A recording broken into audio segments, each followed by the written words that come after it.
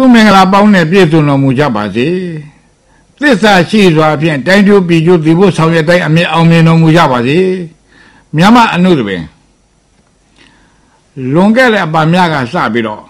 အခြေခံကျိုးဆက်သုံးဖို့အကြောင်းကိုပြောခဲ့လားပဇင်းတောင်တန်ကျိုးထန်တရားတည်တဲ့ချင်းကိုတော့ဖြင့်ဂဂနာနာပြည့်ပြည့်စုံစုံကျွန်တော်တင်ပြခဲ့ပါပြီအခုအပမှာဒုတိယကျိုးတဲ့ချင်းဖြစ်တဲ့ ကလတ်ကြီးကျိုးကိုကျွန်တော်တင်ပြပါမယ်ကလတ်ကြီးကျိုးလို့ခေါ်ပါလေနာမည်ကကလတ်ကြီးဆိုတာဟာထဲ့စရာပါပဲအောက်ကခြေတော့လေးတစ်ချောင်းနဲ့တပင်တိုင်းခြေတော့လေးတစ်ချောင်းနဲ့ကလတ်ကြည့်လိုက်တဲ့အခါမှာကြာကွက်နဲ့တူလို့ကြာကလတ်လို့လည်းခေါ်ကြတယ်ထဲ့စရာပဲအတိတ်ပဲကတော့ပစ္စည်းတစ်ခုကိုတန်ဖို့ရှိတဲ့ပစ္စည်းတစ်ခုရလာတဲ့အခါမှာမပြောက်မပြက်ရအောင်ဒီကလတ်ကြီးတွေထည့်ထားရဲ့ ဘယ်အခါမှသူအလိုရှိတဲ့ကကောက်ခွာငါသုံးနိုင်တဲ့လူချင်းတဲ့အခါမှာရနိုင်တယ်လက်ထဲမှာကင်ထားမယ်ဆိုရင်ပျောက်သွားနိုင်တယ်ဟိုနေရာထက်ဒီနေရာထက်မေ့ပျောက်သွားနိုင်တဲ့အတွက်ကြောင့်ဒီကလတ်ကြီးဂျိုးလို့သူ့နာမည်ပေးထားတယ်ဒီတော့ဒီတချင်းကိုအစအဆုံးအတိတ်အဆောင်အမှားယွင်းမရှိအောင်တီးတတ်မှုတ်တတ်တဲ့အခြေကိုရောက်တဲ့တိုင်အောင်ဆရာကတပည့်ကိုမေးတတ်တယ်မေးဒီဒီရှိမှတော့ဖြင့်မမအောင်ဘယ်ခါမှဆိုအခါမရွေးဆိုနိုင်တီးနိုင်ပါပြီကွယ် တိုးတော်လည်းပဲသဘောပေါက်ကြလားလို့ဆိုတော့မင်းရထားတဲ့အတိုင်းကလပ်ဖြစ်ကြလားလို့မေးတယ်ကလပ်ဖြစ်သွားဖို့လိုတယ်ကလပ်ဖြစ်သွားဖို့ဥစားကသဘောပေါက်ပြီးတော့ပညာအခြေခံပါရလားလို့ဆိုတဲ့သဘောပဲ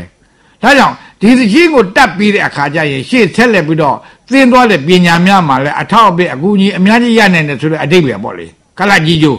ဒီတော့ကအခုဒီကလပ်ကြီးကျိုးကိုကျွန်တော်အခုတင်ပြပါမယ်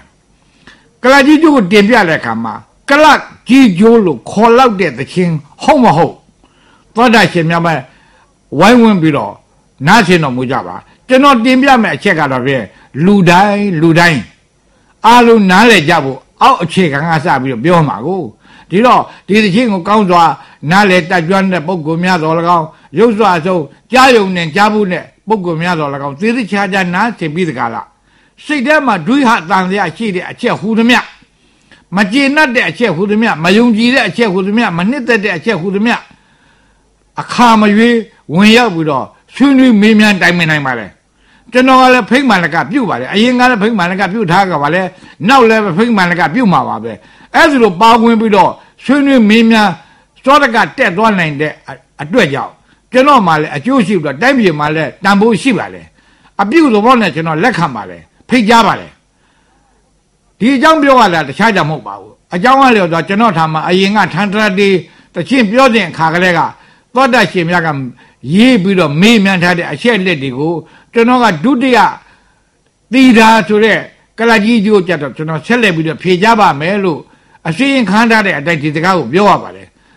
တချို့ထင်ကြတာကတော့တိုင်းတစ်ပါးဒုရိယာများကိုလိလာလိုက်စားပြီးတဲ့အခါကျတော့ဟိုမှာတိတိကြကြ တွေ့တဲ့အချက်လက်တွေကိုကြည့်ပြီးတော့ကျွန်တော်တို့ကလည်းအတိအကျတိုင်းတစ်ပါးဒုရိယာများကိုအဲလိုက်ပြီးတော့တီထွင်းတယ်လို့ဒီလိုယူဆကြတယ်ယူဆကြတဲ့အတိုင်းဟုတ်မဟုတ်ကိုသေချာကြည့်ဖို့ကျွန်တော်တို့အခုတင်ပြတဲ့အချက်တွေကိုအစီခါမယ်ဆိုရင်သောတာရှင်များခင်ဗျာအချိန်ရတော့ပညာရှင်ကြီးများကိုသေသေးချာချာခက်ကန်လာမေးမြန်းပြီးတော့မှတ်သားထားတဲ့အချက်များရှိပါလေ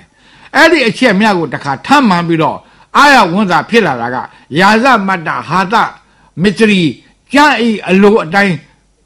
ကိုက်ညီပြလေအဲ့ဒီကိုင်းကြီးတဲ့အချက်နှစ်ချက်တွေကိုသောတာရှင်များကိုတင်ပြတဲ့အခါကျတော့မတင်ပြမီကျွန်တော်တို့ကိုယ်တိုင်ဒီဥစ္စာကိုလေ့လာပြီးတော့တွက်ချက်ကြည့်ပါလေပြည့်ပြည့်စုံစုံရှိပြီဆိုတော့မှဒီဥစ္စာကိုတိုင်းပြည်ကိုကျွန်တော်တို့ကတာဝန်ယူပြီးတော့တင်ပြပါလေ အသေးအဆန်းထွင်းတဲ့ဥစ္စာတခုမှမပါပါဘူးကျွန်တော်တို့လည်းဒီအတဲ့အသေးအဆန်းထွင်းနေတဲ့တတ္တိမရှိပါဘူးဒီတော့ကသောတရှင်များကအခါမရွေးဒီကိစ္စကိုတတ်သိနားလေတဲ့ပုဂ္ဂိုလ်ဟူသည်မြမဆိုင်မတော့ပါဝင်ပြီးတော့ဆွေးနွေးမေးမြန်းတိုင်ပင်ခြင်းအပြင်တိုင်းပြည်အတွက်လည်းအကျိုးရှိတဲ့အတွက်ဒီတကားကိုကျွန်တော်အစီရင်ခါပါတယ်တီထွင်းတဲ့ဥစ္စာမပါဘူးတိတိကျကျ မြန်မာမူမြန်မာဟာနဲ့ကိုက်ညီတယ်မကိုက်ညီဘူးဟုတ်နိုင်တယ်မဟုတ်နိုင်ဘူးဆိုတာဟာဝေဖန်တိကပြုတ်နိုင်တဲ့အချက်လက်တွေဖြစ်သောကြောင့်ဟုတ်သည်မဟုတ်သည်ကိုနားဆင်းပြီးတကားလားဆက်လက်ပြီးတော့ကျွန်တော်တင်ပြတဲ့အကြောင်းများကိုနားချင်တော်မူကြပါလို့ရှေးဥစွာကျွန်တော်တောင်းပန်လိုပါတယ်အခုကလတ်ကြီးကျိုးဟုတ်မဟုတ်ကိုကျွန်တော်ကြည့်ကြစို့ရဲ့ပထမဥစွာကျွန်တော်တို့တချိမှာပါတဲ့စာသားကိုကျွန်တော်အရင်ပြောပြပါ မယ်တချိမှာစီဝါရဲ့တန်ကြရဲ့ဟန္တာရဲ့သုံးမျိုးရှိတဲ့အ ਨੇ ကစီဝါရဲ့အလိုတိကြပါလေတန်ကြရဲ့အလိုတိကြပါလေဟန္တာရဲ့အလိုစာအဓိပ္ပာယ်မသိရင်စာကိုမဖတ်တတ်ရင်လုပ်လို့မရပါဘူးအဲ့ဒီအကြောင်းများကြောင့်အကြောင်းအမျိုးမျိုးကိုတစ်ခုပြီးတစ်ခုကျွန်တော်ဆက်လက်ပြီးတင်သွားပါမယ်စာသားကတော့ကလတ်ကြီးကျိုးလို့ဆိုပါလေသီတာသီတာမြသာကြာကြာကြာငါးပါး ဆက်တလုံးရှိပါလေကန္နာကန္နာဝန်းကျင်ငွေသက်ပြင်လေဒီမှာပျော်ဒီပျော်ခြင်းပွဲဆက်ခွနှလုံးရှိပါလေမြစ်တွေးမြစ်တွေးခြင်းရောမြူဒီမြူစံပျော်ဆက်တလုံးရှိပါလေငှက်တော်လေဂျိုးကြကျူးရင်ရင်သာကိုးလုံးရှိပါလေလိပ်ပြာလေပြန်ကာသွားဟိုမာဒီမာနာဆက်တလုံးရှိပါလေ ရေပေါ်မှာလွှားပါလို့ကြာစံကိုစားပါလို့ဝဲကပြန်လေဒီဒီဝဲကပြန်20လုံးရှိပါလေစာလုံးရေပေါင်းအားလုံးဓပုတ်လုံးမှာစာလုံးရေပေါင်း80ရှိပါတယ်ထန်းတရားတွေနဲ့ရှင်းပြီးပြကြဆိုရဲ့ပြတဲ့အခါမှာထန်းတရားတွေကောင်းစွာတင်ပြကြလဲအတိုင်းထန်းတရားတွေကိုနားလေတဲ့ပုံကူများပိုးပြီးတော့ခေးရောက်ပါလိမ့်မယ်ထန်းတရားတွေမှာစာလုံးပေါင်း132လုံးရှိတယ်သူကတော့80ပဲရှိတယ် နဲတယ်နော်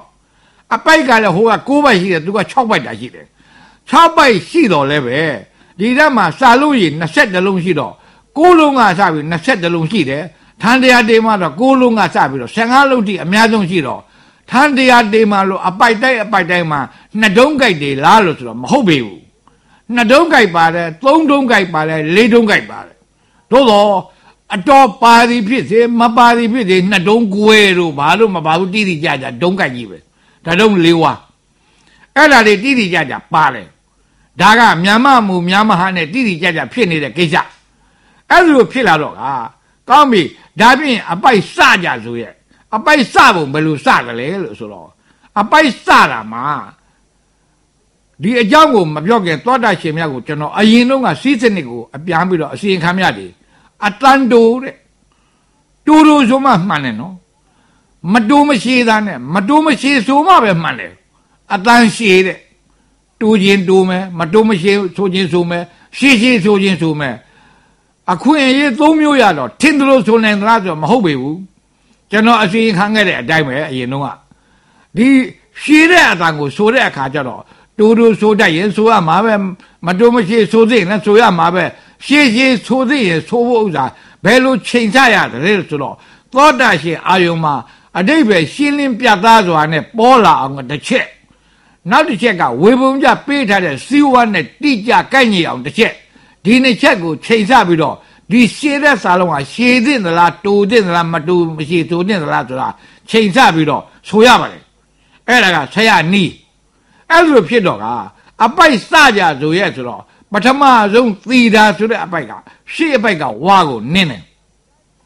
နောက်တစ်ပိုက်ဒုတိယပိုက်ကကန္နာကန္နာဝန်းကျင်ဆိုတဲ့ဒုတိယပိုက်ကလည်းရှေ့အပိုက်ကနောက်ဆုံးဝါကိုနင်းတယ်အပိုက်ပေါင်း6ပိုက်ရှိတဲ့အ ਨੇ ကရှေ့ဘက်က9ပိုက်ကခောက်ချိုးပြန်ပြန်ဆိုတော့အဲ့ဒီ9ပိုက်ထဲမှာဒီနှစ်ပိုက်သားလျင်ရှေ့ပိုက်ကဝါကိုနင်းတယ်နောက်အပိုက်က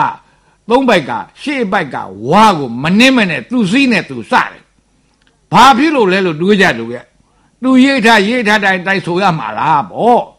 စဉ်းစားပြီးတော့ဝေဖန်ပြီးတော့တကြီးတစ်ပုတ်တက်တယ်ဆိုတော့ကိုကိုတိုင်းကထန်တရားတွေတက်ခဲ့ပြီးသားပဲထန်တရားတွေတကယ်တက်လာလို့ရှိရင်ဖြင့်ဒီသီတာသီတာတက်တဲ့အခါကျရင်မှားသလားမှန်သလားဟုတ်သလားမဟုတ်ဘူးလားဘလောက်တန်ဖို့ရှိတယ်မရှိတယ်ကိုဝေဖန်ပန်းချနိုင်ဖို့တော်ပြီဒါကြောင့်မလို့ သီတာသီတာဆိုတာဘာဖြစ်လို့ရှေ့ကျိုးအပိုက်ကဝါကိုနင်းတယ်လေလို့ဆိုတော့ထန်တရားတွေကိုကြည့်ပါပြန်ပြီးတော့ကြည့်ကြလို့ထန်တရားတွေမှာအပိုက်ပေါင်း9ပိုက်ရှိတယ်9ပိုက်ဟာရှေ့ပိုက်ကဝါကိုနင်းတယ်ဘလူတွေလဲသီတာသီတာဆိုတဲ့အပိုက်နှစ်ပိုက်ပါတယ်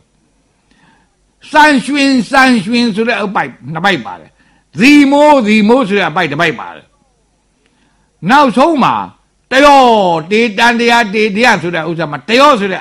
အပိုက်ပါတယ်အဲ့ဒီရှေ့အပိုက်ကနောက်ဆုံးဝါကိုနင်းတဲ့အပိုက်စတွေကအကုန်အတန်ရှိကြီးပဲထိုးနည်းတူစွာဒီသချင်းမှလည်းပဲပါလက်တဲ့မှာသီတာသီတာ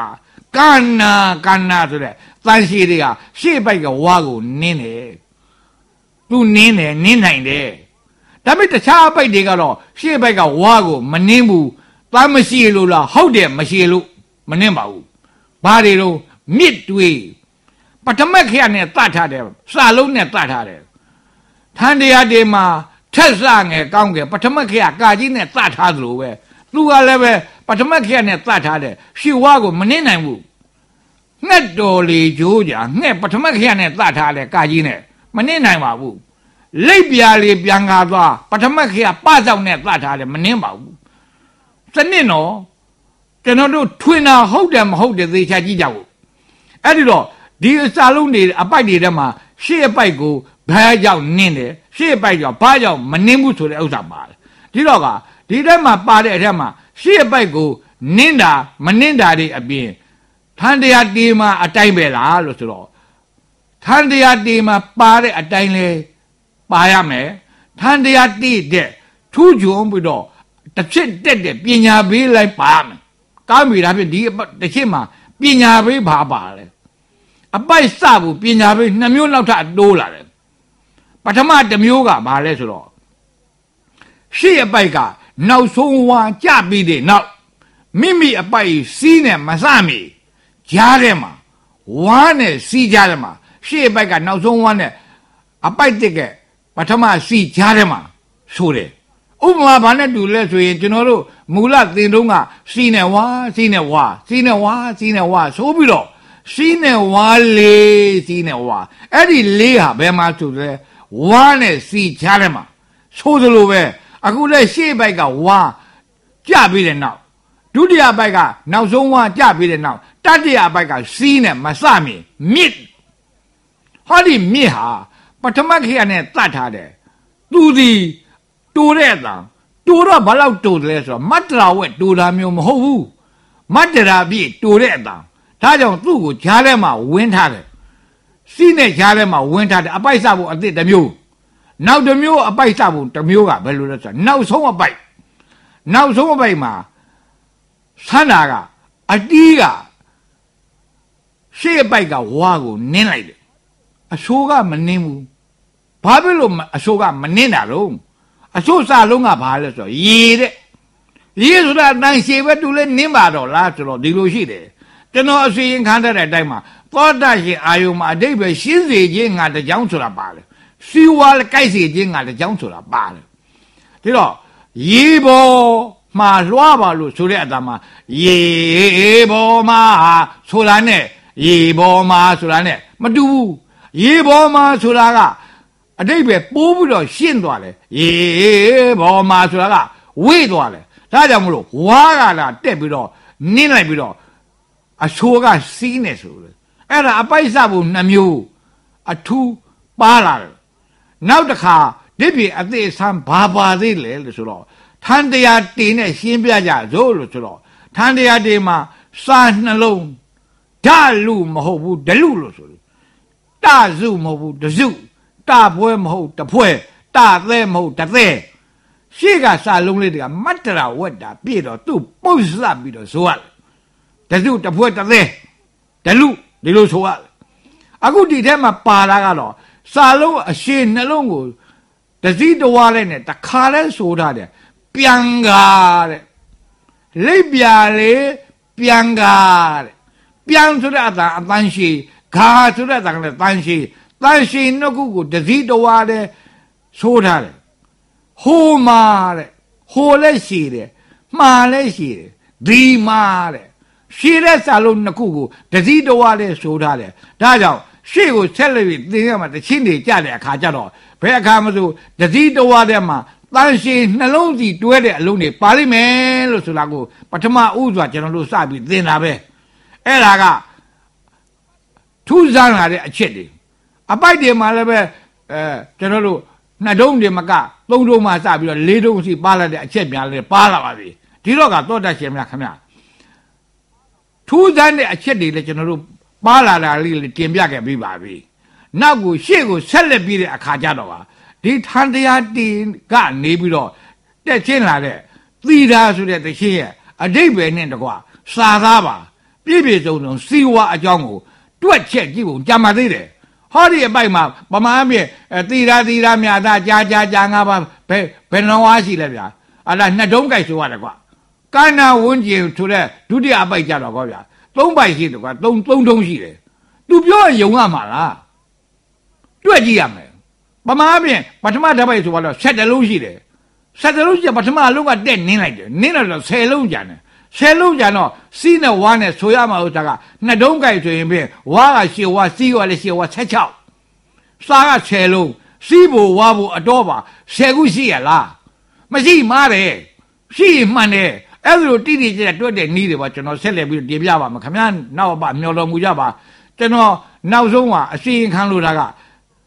အလုတ်လုတ်တယ်လို့ဆိုလားစီးနှစ်စနစ်နဲ့ဗာနဲ့ ဘယ်အရာမျိုးမဆိုကျွန်တော်တို့မြန်မာလူမျိုးများမှာပညာဆိုရင်ဘယ်အခါမှဆိုစီးစနစ်ပါပါရှိတာကြီးပါပဲ